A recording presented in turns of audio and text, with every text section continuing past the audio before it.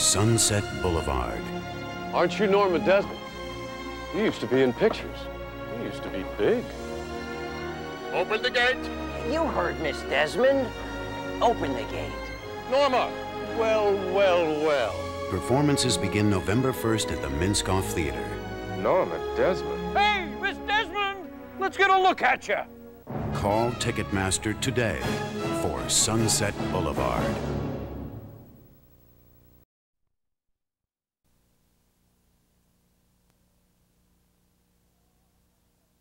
When I look your way, you hear what I say.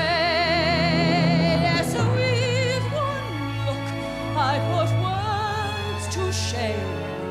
Just one look sets the screen aflame. So First of all, to be asked to do the American premiere of this, this piece was a great honor and a big challenge, and to have the result of the collaboration of all these people in a recording for posterity is very, very exciting. And I'm very proud to be a part of it and excited for people to be able to hear it. Sunset Boulevard, twisting boulevard, secretive and rich, a little scary.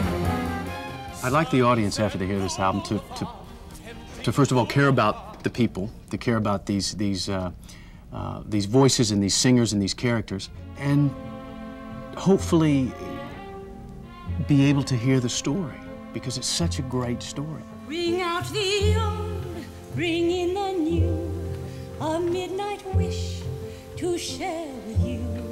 Your lips are warm. It's thrilling for me on many levels, but to be doing his material we alone. is the thrill of a And we've had such fun. Yes.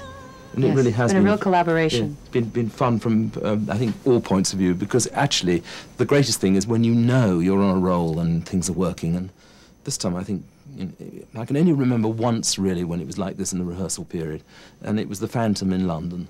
And we knew something was going. And here in LA, it was, it was fabulous. And, you know,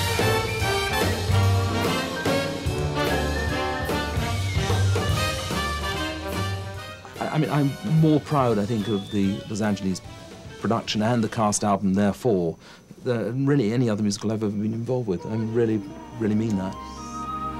Feel the magic in the